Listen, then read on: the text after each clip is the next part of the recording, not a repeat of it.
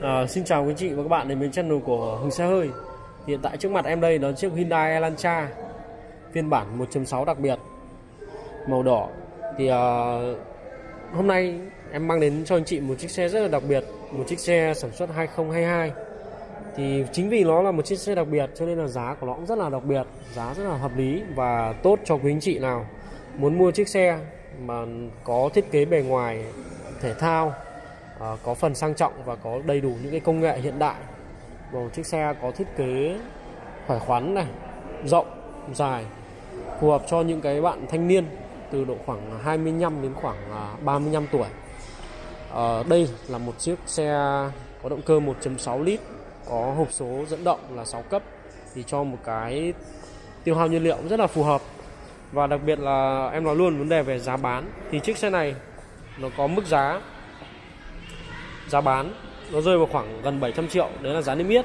Còn uh, chính sách giảm giá thì hiện tại đại lý đang có chính sách giảm cho khách hàng là khoảng gần 80 triệu thì chiếc xe bên em chỉ bán ừ, với giá là 620 triệu cho phiên bản 2022 thôi. Và lăn bánh tại thị trường ờ, Bắc Ninh Bắc Giang đâu đó khoảng ờ, 660 triệu.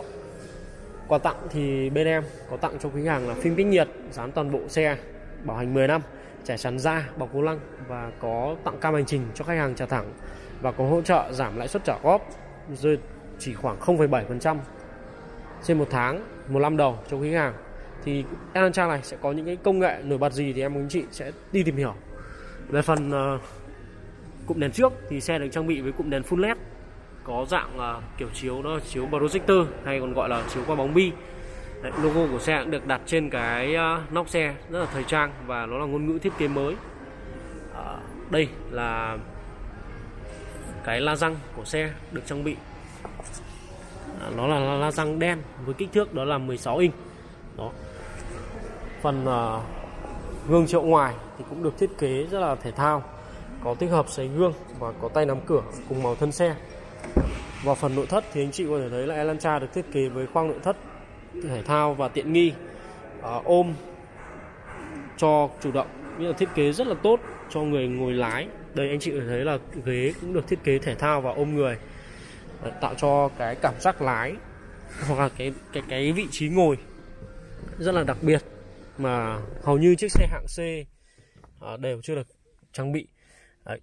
đây là hệ thống loa cũng như là cái uh, cửa gió điều hòa cũng được thiết kế rất là tinh tế trên chiếc vô lăng bốn chấu này thì sẽ được tích hợp những cái công nghệ đó là hệ thống ga tự động cruise control, hệ thống đèn tự động cũng như là gạt mưa tự động.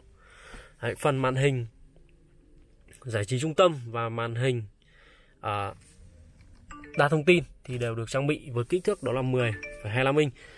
Có tích hợp bản đồ định vị dẫn đường cũng như là hệ thống kết nối Apple CarPlay và Android Auto. À, trên chiếc màn hình Em xin lỗi trên ờ, chiếc điều hòa này thì được trang bị đó là điều hòa tự động hai vùng độc lập có tích hợp và lọc gió bằng ion. Đèn nổ start top thì cũng được trang bị cho tất cả các phiên bản của Elantra rồi. À, về phần uh, chế độ lái thì xe được trang bị ba chế độ lái đó là chế độ lái Eco, chế độ lái Sport và chế độ lái Normal. À, phanh tay điện tử thì cũng được trang bị cho cả bốn phiên bản và giữ, giữ phanh auto hold cũng vậy ở đây thì ờ, có một số anh chị thì cho cái phản hồi là cái tì tay này, cái nắm tay này nó không phù hợp. Nhưng thực ra là em thấy nó rất là mới, nó rất là phá cách. Dành cho những bạn nào mà có đam mê thể thao, mình có thể là mình ờ, ví dụ người ngồi bên cạnh thì có thể là bám tay vào đây này, để tận hưởng những cái khúc cua nó tốc độ một chút. Đó thì cũng được là ôm. Còn trên phiên bản 2.0 thì sẽ được trang bị thêm đó là động cơ khỏe hơn và có có có làm mát ghế cho hàng ghế phía trước. Đó. Thì Elantra mới này cũng đều được trang bị đó là đèn nổ từ xa. Đó. phần đầu thì ngồi bên trong xe thì phần đầu phần đầu vẫn còn cách trần một khoảng rất là rộng, cho anh chị hoàn toàn yên tâm. Đến phần hàng ghế thứ hai thì ờ, uh, Elantra cũng cho một cái hàng ghế sau với không gian rất là thoải mái và độ ngả lưng ghế tốt có thể điều chỉnh được. Đó thì giúp cho anh chị là đi những cái cung đường dài trải nghiệm ngồi đằng sau rất là thoải mái và không bị mỏi lưng.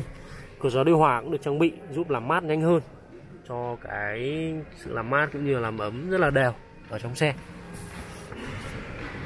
Với các màu xe sẵn giao thì bên em có là những màu như là màu đỏ là xe của Vin 2022 còn màu trắng và màu đỏ của Vin 2023 thì giá nó sẽ đắt hơn khoảng 20 triệu lăn bánh vào khoảng 680 triệu. Đó. À, cái số tiền tối thiểu mà để cần thiết để lăn bánh một chiếc xe này thì đây em tăng tính cho anh chị. À, đâu đó cộng khoảng 50 thì số tiền tối thiểu để lăn bánh một chiếc Hyundai Elantra này rơi khoảng 175 triệu. Thì à, đã bao gồm tất cả những cái quà tặng và anh chị chỉ việc lấy xe về thôi. Còn thời gian vay tối đa cho anh chị đó là từ 3 đến 8 năm. Lãi suất thì em vừa chia sẻ cho quý anh chị rồi. Đấy, anh chị à, quan tâm đến Hyundai Elantra thì xin lòng liên hệ với số điện thoại em để trên màn hình. Em sẽ cập nhật báo giá chi tiết theo từng thời điểm cho quý anh chị lựa chọn cho mình một chiếc xe cực kỳ là phù hợp. À, em xin cảm ơn và hẹn lại quý anh chị trong những video tiếp theo.